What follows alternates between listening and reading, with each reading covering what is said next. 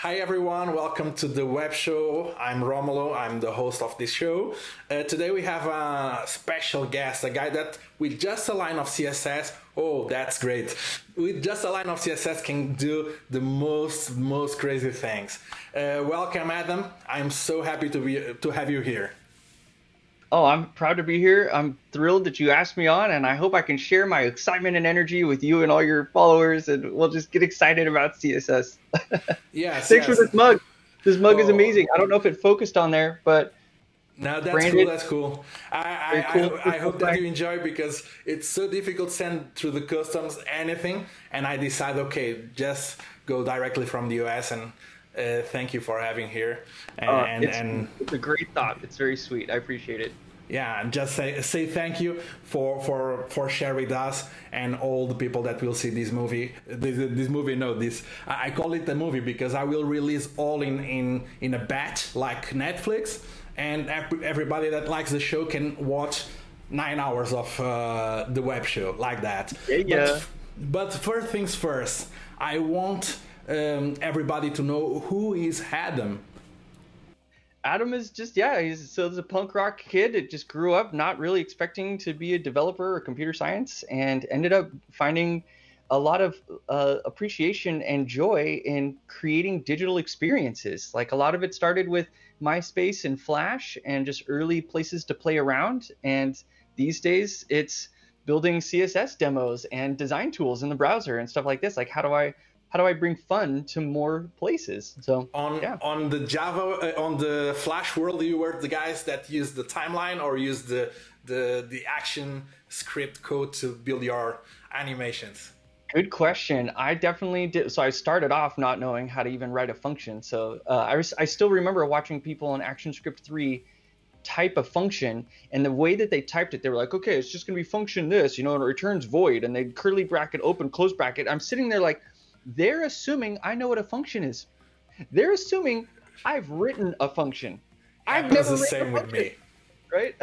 so I used the timeline for a long time, but I eventually, because I had jobs in the industry uh, in Flash, I was learning from other people who were like building their they were drawing with flash so they were they were even building their movie clips and the whole vector animations with code and then animating that and of course, they had more power. It's just like building your SVG in JavaScript and then animating your SVG. You get more power, but more responsibility.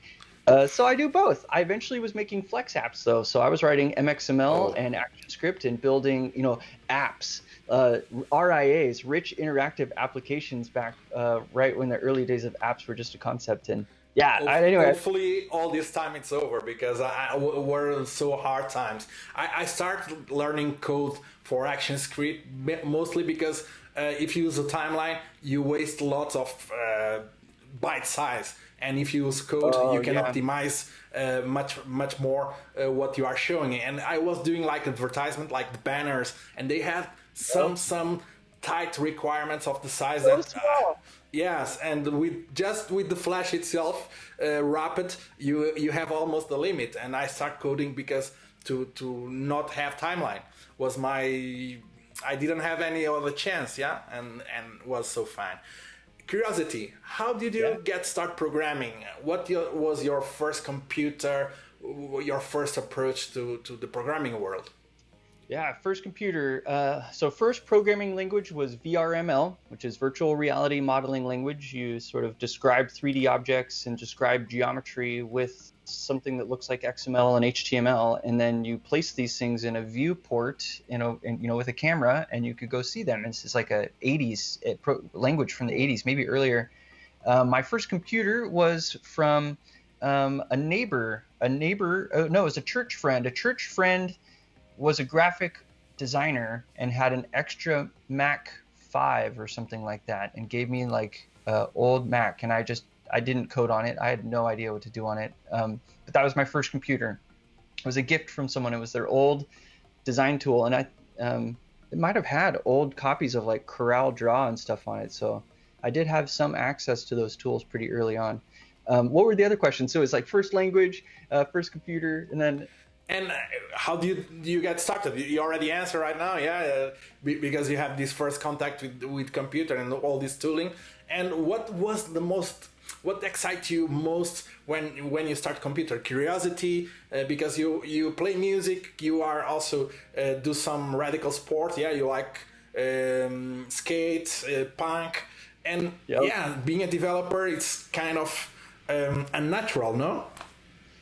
a developer definitely was unnatural. unnatural. Um, the designer side makes a lot more sense, and and you're right. As I think back to it, like in seventh and eighth grade, I was excited by Adobe tools because they were loud and expressive, which was kind of what I was as a punk kid.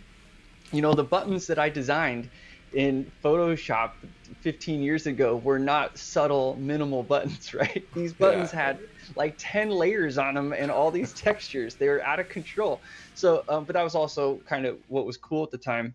Um, yeah, I think I got into design mostly first. I got into code because um, I got grants at school. I, where I went to school, they were like, if you study code, we'll give you money. And I was like, I'll take oh. your money and do that stuff.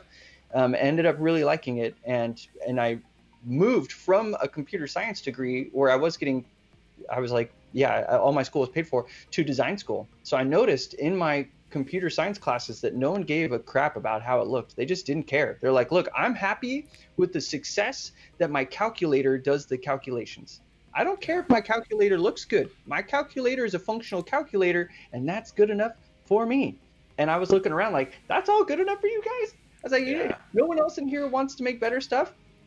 And so I went to a design school where I learned how to merge all of that computer science knowledge and database knowledge with design and graphic design and typography and blah blah blah. And all the while I was there at school merging these things, I was working in the industry as an intern, building flash ads, building dinky micro websites, and just like little stuff. And all of a sudden, after five or ten years, I have a lot of experience building stuff because yeah. I, I think I think that um, this is, is is one interesting path because uh, myself uh, too.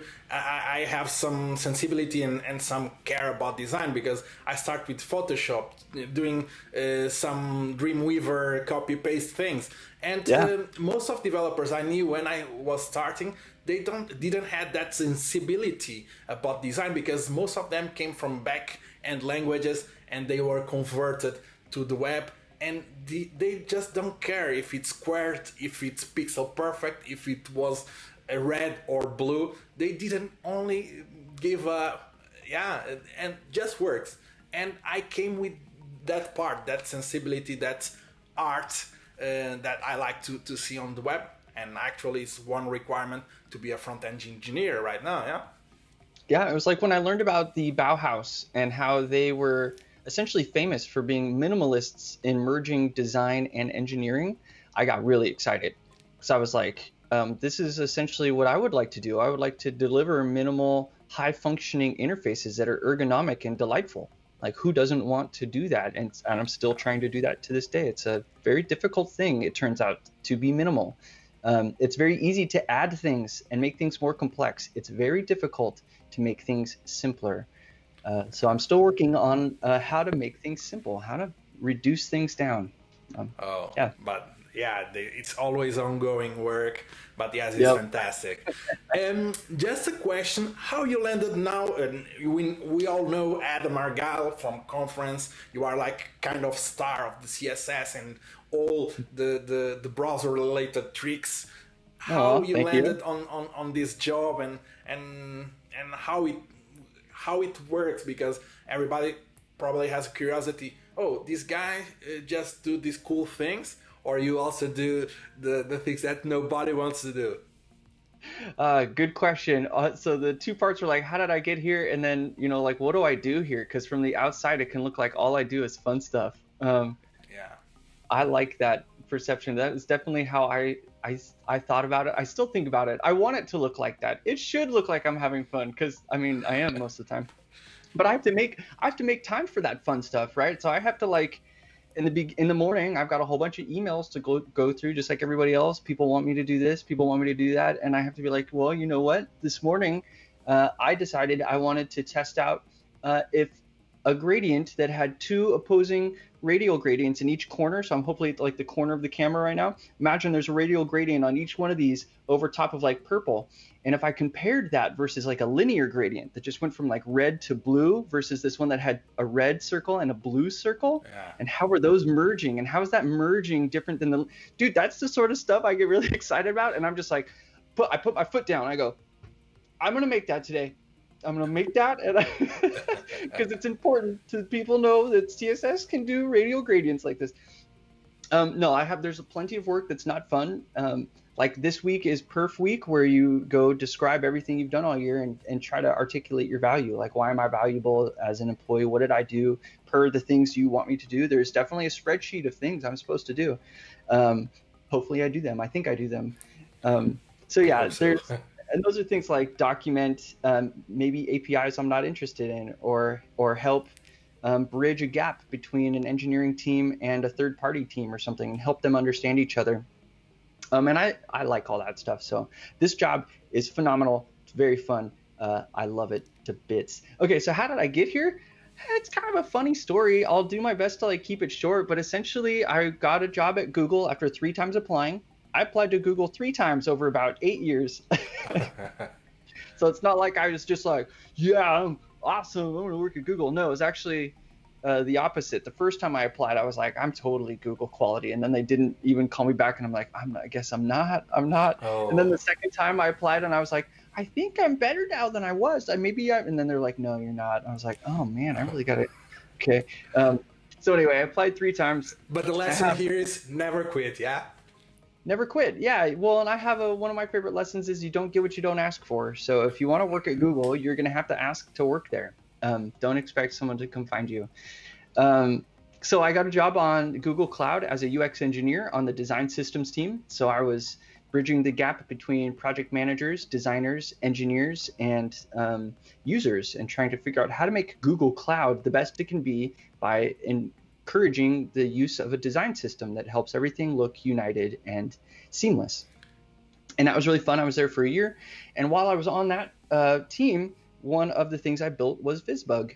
And VisBug was um, my, my goal was to give more power to the designers because I was on this product team and I was looking at this this thing called Google Cloud that's just massive, and designers were chasing it with their design files, uh, trying to look like the app that they're working on. Where um, I was just like, why don't you just go work in the browser?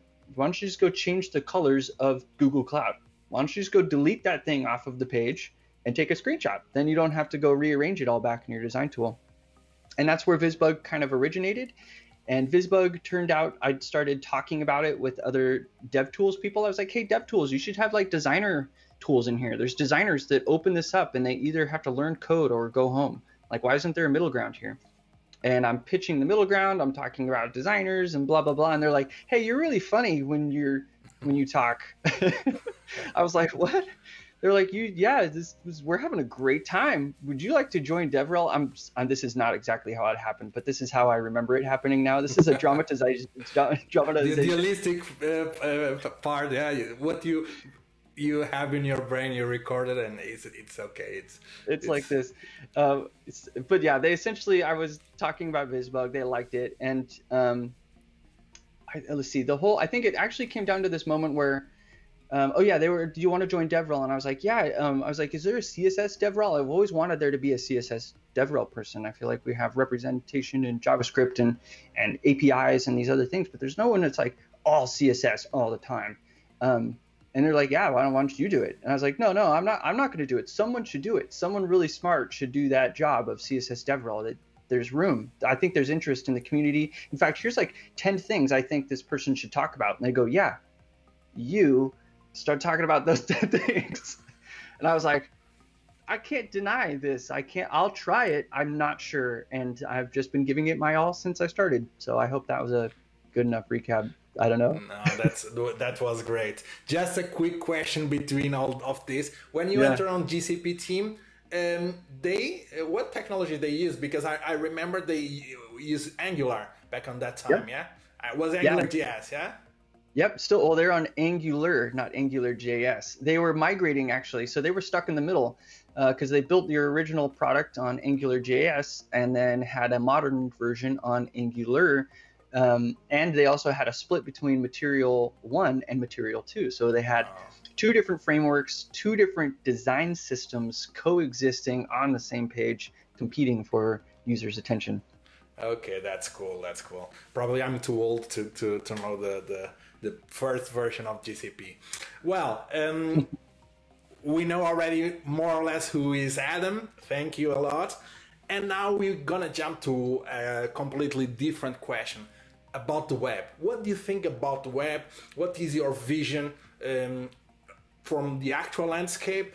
And um, what do you see or where you see the web in two, five years? This is a big question. This is a big question. Don't worry, I, am I'm, I'm surprisingly prepared for this. So um, one thing for me that's really important, two really important things about the web. These are distinguishing factors to me that I think are important and are the reason it's still alive.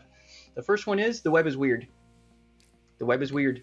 The web has weird places and they're easy to find. When you go to a city and you visit a new city for the first time, do you want the normal streets where they have Beverly Hills? Like, you know, do, do you want to go walk the main strip with the main markets with the big, you know, commercial? Or do you want to go down a side street that's kind of funky? When I go to Barcelona, I'm not going to Nordstrom. Uh, there's a Nordstrom there, but I'm not going to go to Nordstrom when I'm in Barcelona. I'm going to go to Barcelona and I'm going to walk the catacombs and I'm going to walk through La Rambla and I'm going to have fun and go somewhere unique and weird. I'm going to go somewhere weird. The web delivers weird. I think weird is important. I think this is why apps aren't exciting. Apps are a, a utility belt that you wear with function. They're not fun, whimsical moments. And the web has whimsical uh, everywhere. It's it can just mm, it's just oozing whimsical if you want to find it. It also has a business side. So, and then thing number two that's really important to me about the web is a URL is an app. It's the beginning of your app moment, and it's a and it's a it's a link to a nested state even in an app. It's more brilliant than an app could ever be because it's a representation of a moment in the app. Uh, it's just beautiful. So anyway, the link oh. is a very very powerful thing. Yes, yes. Uh, ju- just jumping to the, the, the, first part, it's a, a very interesting uh, point of view about the web, and because uh, the, uh, in my opinion as well, um, the cool thing that you are mentioning, it, it, it's its reality is completely reflected because you can walk for the main streets of the web and do beautiful things, but you can also cross uh, the the main road and go to the funky places and do even more beautiful things. Uh, get trapped there for to discover all the, the stuff. People from standards that probably never jump to the main road, but they are they are supporting uh, the things. People that goes there and push the funky parts to the main road, uh, opening that uh, store that is completely um, non-related with the, what is going on on the main street. And this is one of the coolest um, observations I, I, I, I heard about the web. That it's completely uh, surprised. I would I'm lucky because it's recorded, and every time I want to listen about how the philosophy and how about web, I will listen to that. This is why you'll see me say keep the web weird. Other people say keep the web weird too, but this is what I mean by it. Is I think it's it is the only way it will continue to survive is if it stays weird in some way. So if we get too business focused, we might lose what has kept us here the whole time. Anyway yeah that's that, that's that's uh, completely completely true and um, the second part um, I just completely forgot about. I was so I was so, oh, it's URLs so, are apps. Ah, it's URL. Yes, yes, URL sorry, I was just like uh, in, in the cloud. Yeah, were still in the whimsical, like oh yeah. yeah, no, and, and about this this this uh, this mention about the, the URL is the app. Yeah, in reality, it's, it's your it's your door to your uh, house or to your home, and it, it's a good perception and it's a good vision. It's a little vague, yeah, open, but the web is like that. Yeah, it's just yeah, it's a like a mobile number or a phone number to your to your presence, but in the web is even bigger. It's your house, completely your house. And probably lots of people are forgetting about that because we have service like Google Bing that you don't type URL anymore. Most of the Yeah. people go Google or Chrome already do the completion of the URL, and that relation with URL itself, it's it start get a little bit lost. But yeah, I, I, I- I like your that concept and and and what you you, you are proposing. Um, just complementing this question, what do you see in five years, the web in five years? You already answered, but uh, some real thought about mm, we're gonna have browsers like we have now. We're gonna bet on the augmented uh, reality, virtual reality, or something else.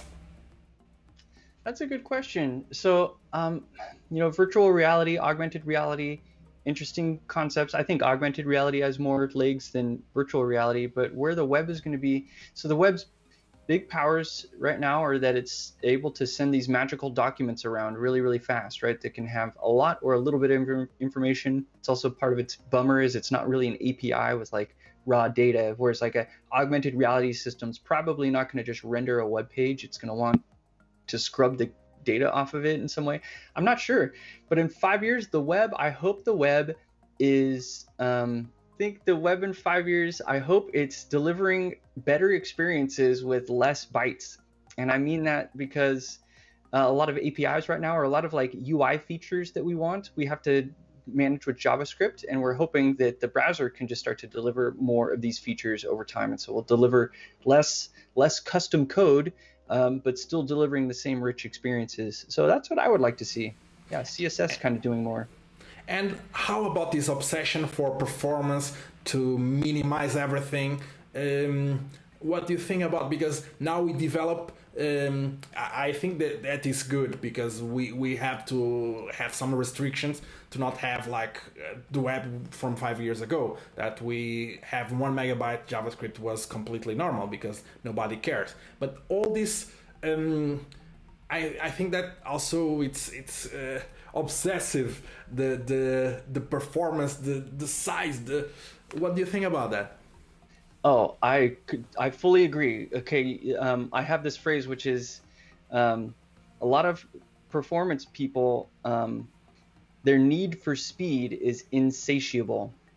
The the faster and more speed, more speed, they constantly more speed, and it's an addiction. There's a speed addiction. There's a performance addiction that you can have. Now, I want to just uh, come back from that a little bit and less of like a like a harsh side to that, which is that I think that building websites and delivering ex- experiences is a lot like being a chef. And you have a like as a developer, you're a chef, and you are in a restaurant, let's say, and the restaurant that you work for might be uh, fast food that's delivering one megabyte bundles of garbage food to users or you might be a sushi restaurant or something that's like barely delivering anything. It's like super minimal. It's like html and css no javascript or something like that. So what i'm getting at is that the the meal I, I would like to see a relationship between the restaurant chef and the user um, being able to co- communicate more about what the user is asking for. Because right now the user basically knocks on the door and then you just give them a meal right Hi, I came to the, so we're talking about the house, right? Your URL, I'm here at the URL, open up server, the server open up and goes whoosh, hands you a meal and you're like, yeah what did I what do I what did I get here? I guess I'll just start eating this content because this is what you gave me.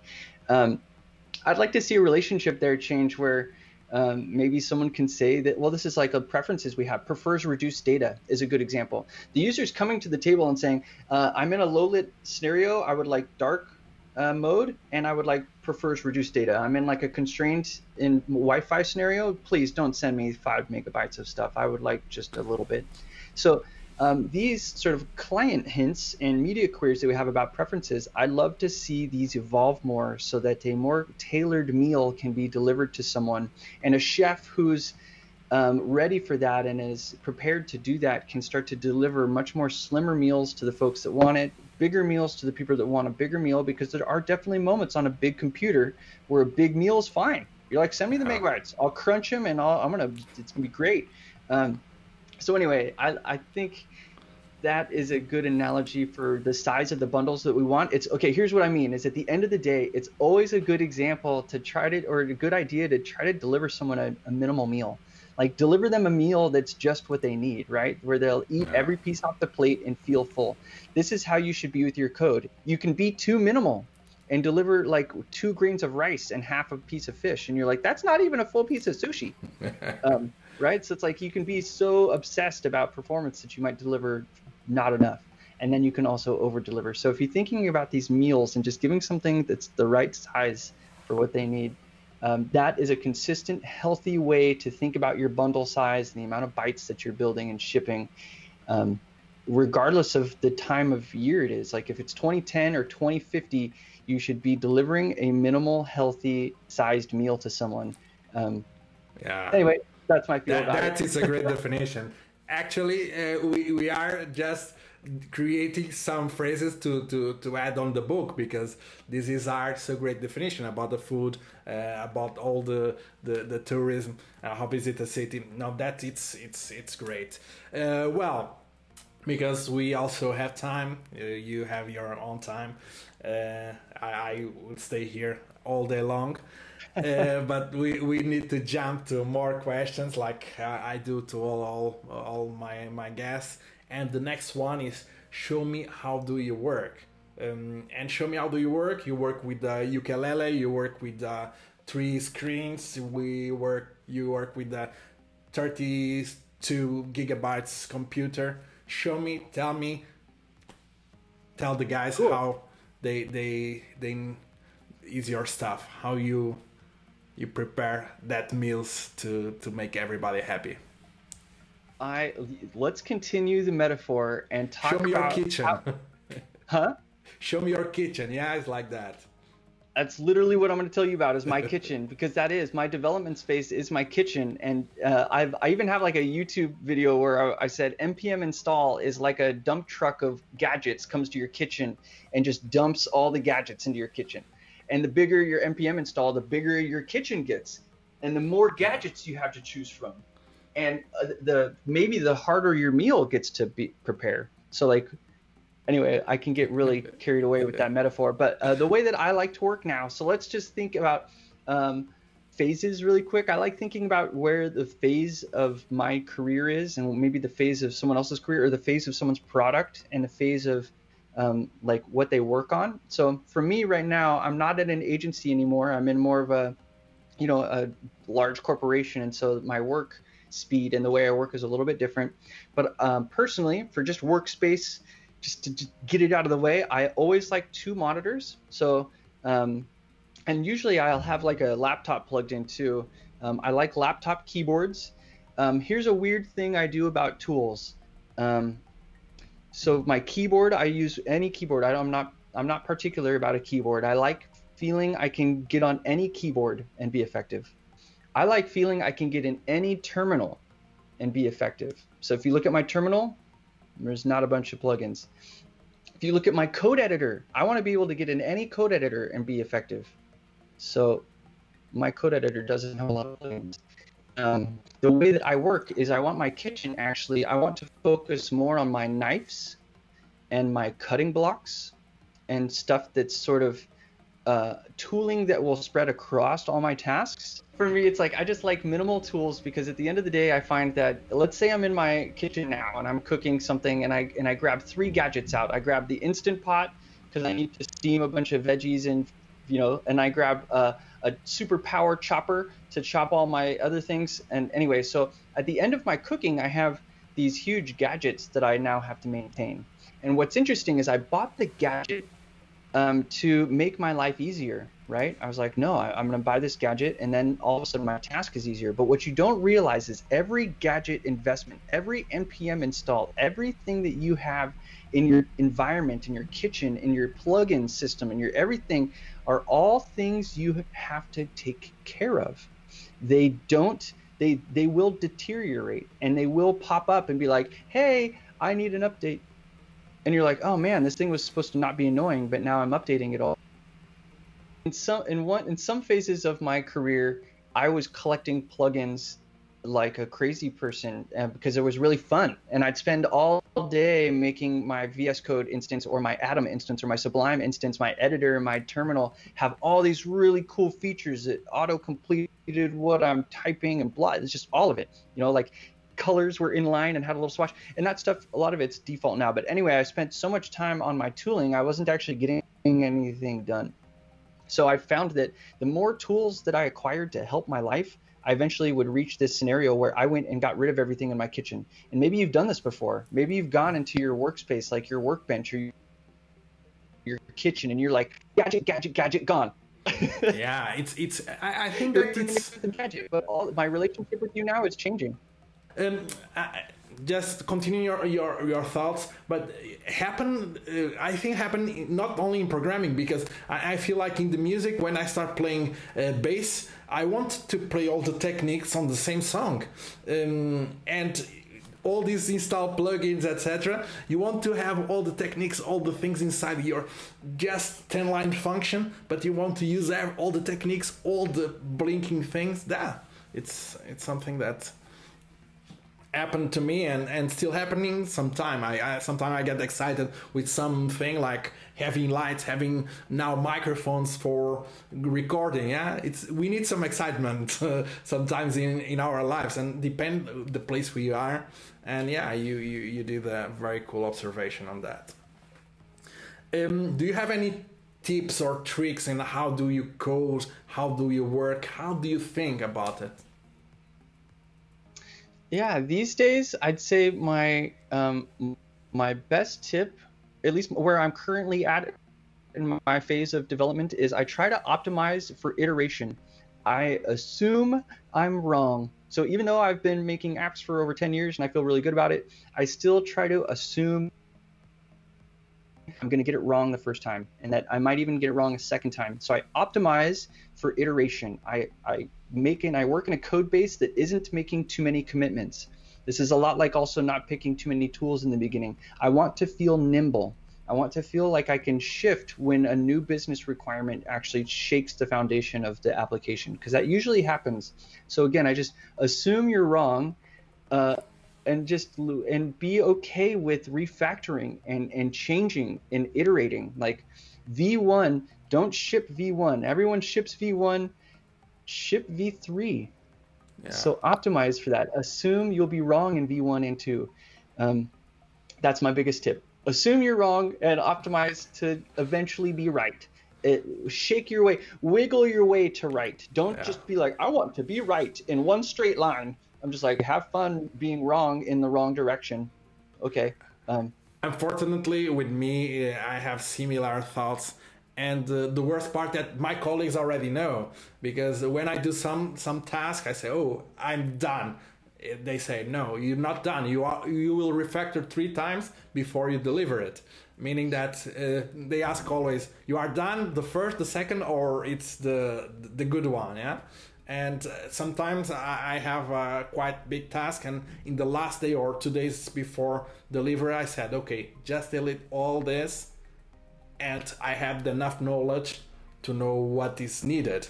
And yeah it's uh, where the things go go best at least on, on my side. But yeah that's a cool productivity yeah it's very, definitely very tip. normal to have these bugs this is a cool one. But anyway, uh, I, I'm so happy to have you here. Um, I, I'm not tired to repeat. But show us your pet project, what you are doing aside uh, of your uh, real thing, CSS thing, what you are doing aside. Show us. Yeah, I have I have two that I'll share. So one is VisBug, which you know of, and VisBug is just the start of a, an idea, the start of a goal, which is to make visual design tools that work in any web page, in any HTML page.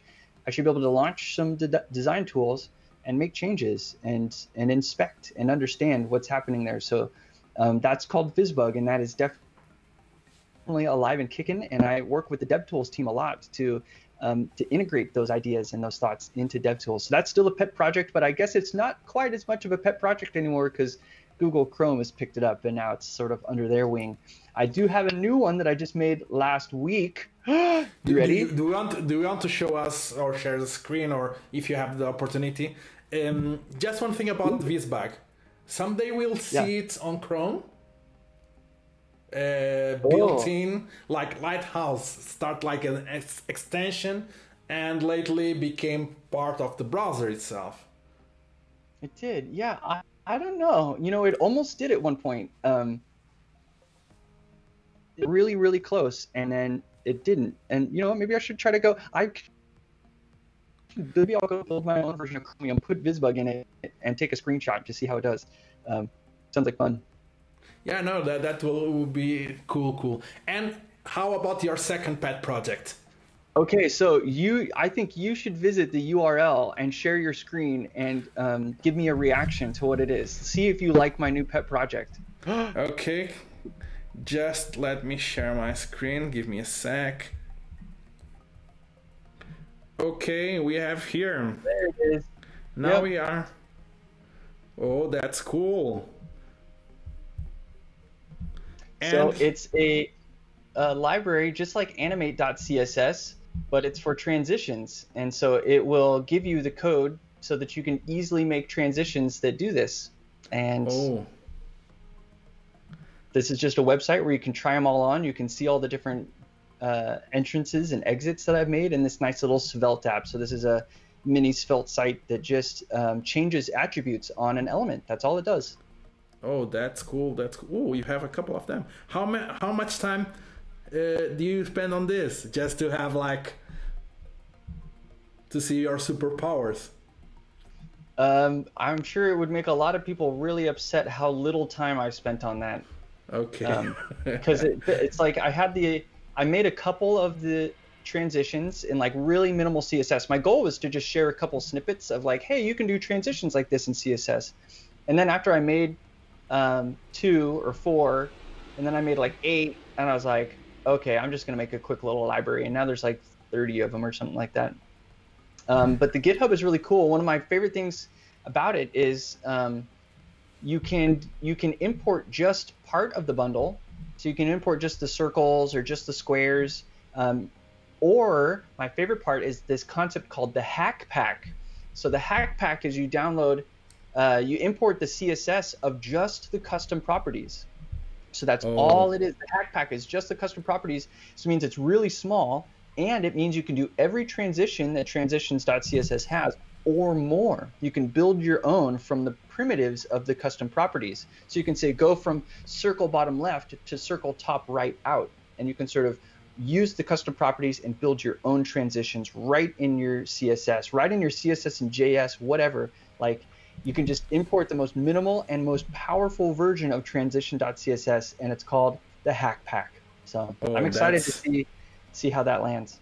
That's cool. That's cool, and and give some lots of good ideas and use cases to to build on top of. Yeah, because uh, Yep. you, you you can you can have in your own design system or um, or anything like that. You can have it and and and, and can use it for for your transitions because most of people i think that is, is a, a topic that it's nine, 2019 2020 was the year of static site generators and everybody has a design system. Even to do your own website. I, I started building myself one like two years ago and i just built a button and a text field. And was my my, my mind was oh let's create a design system because it was so fashion and people came up that they built design systems but the animation part the transition part all these fun things that differentiates the design systems beside of the colors and and, and fonts uh, almost all design system is missing. Uh, material has but it's it's a kind of different structure. But most of design systems i see all these parts of transitions and animations are forgotten. And these kind of libraries can help a lot push this this to uh, a good a good path as well excellent uh, I'm glad you like it. Yes, I, I, I actually I, I liked all the, your pet projects because Visbug, I, I, I, I, I, I, I imagine no, I remember that I told you here when when we we, we, we met or we, we spoke here in Barcelona that I used to I, I tried Visbug, and I tried VisBug in, in a very funny situation. I was in a meeting and people was discussing about uh, okay this should be left this should be a little bit right uh, or that color. And i just picked Classic. visbug without knowing nothing about visbug i just moved the things and one guy uh, on, on, my back said oh he's doing already. It's it's the unique thing that It's was done. bad uh, was that oh it's done. Uh, we don't need a project for do it. It's already done yeah? And and well, we are um, we already finished our all questions. And uh, how did you like to be on the web show? Um, what do you think? I think you're a great host. I really appreciate the swag. My coffee Oh. was very good out of it, so I appreciate that. The questions were awesome, and I hope I I hope I gave you what you needed in this episode. No, that was excellent. Excellent. Uh, you exceed all the expectations, and I'm so happy to thanks, to to you ha- had some time uh, that I know we are all busy uh, during these days with all these uh, things that are are happening with our world and you have this time with this motivation and this is cool i already told you uh, also personally but um, you are one of the, the, the guys that i saw presenting on, on the conferences that um, that can transfer all that vibe to the people that are uh, watching your videos, your presentations, and that it's you. your um, main gift. Um, and you should keep using it because it's not just the technical part because everybody can be technically perfect or, or can have a huge uh, technical knowledge but having this gift of uh, transferring himself to everybody and motivate everybody to learn and to to to be okay what happens next? I saw one of your videos about css or something and i was what happened next? What what is next? Yeah like what will happen? And this is crazy. And i Oh, just i just have to say you. thank you to all your work and everything you are doing and hope we we, we met someday when this all over and I think we will. We know this world's too small. We'll see each other again. yeah